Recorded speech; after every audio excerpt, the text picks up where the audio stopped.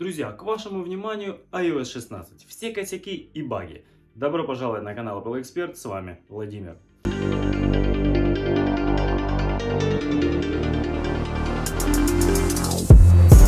Друзья, я столкнулся с такими багами как... Обновился на iOS 16, если мне не верите. Троечки. Основные обновления. Как видите, текущая линейка у меня стоит. А с чем я столкнулся, какие баги там, да, настраивать, возможно, экран или еще что-то, то есть эти все настроечки, здесь я особо не поигрался, выставил часы и от виджетов избавился, я все равно также виджеты не использую. А первое, что я заметил, это падение автономности.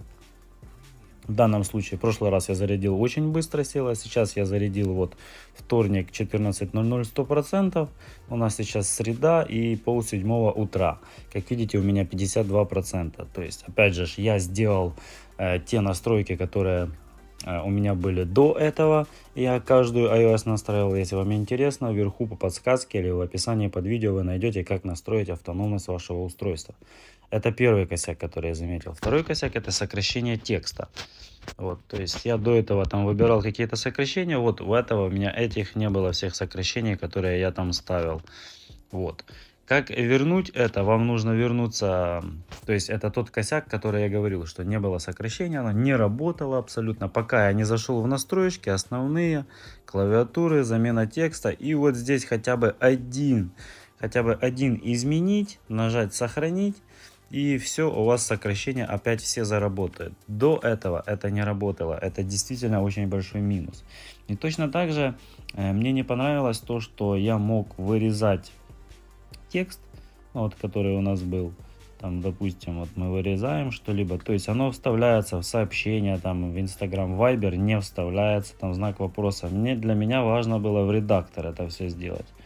То есть там я выбираю, допустим, фон и хочу вставить просто тупо не вставляется. То есть мне тоже это не нравится. Это считай баг. Не подходит такая фишка. В принципе, в остальном кое-как она работает. Косо, криво, там, не знаю, как для кого. Но для меня эта система не является плюсом.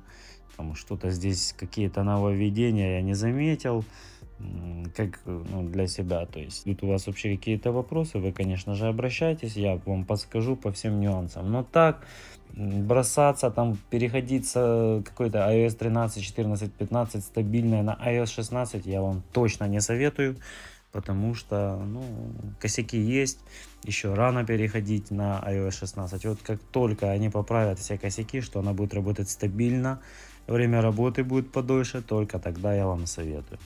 Решение проблем я вам сказал, с автономностью вы можете решить в описании под видео, либо же по подсказке, опять же напоминаю. Сокращение текста, то что я показывал, это в принципе просто работает. Зашли в настройки, основные клавиатуры замены текста, редактировали хотя бы одну заметочку, просто нажали редактировать, сохранить все, и опять это все вернется на все свои места.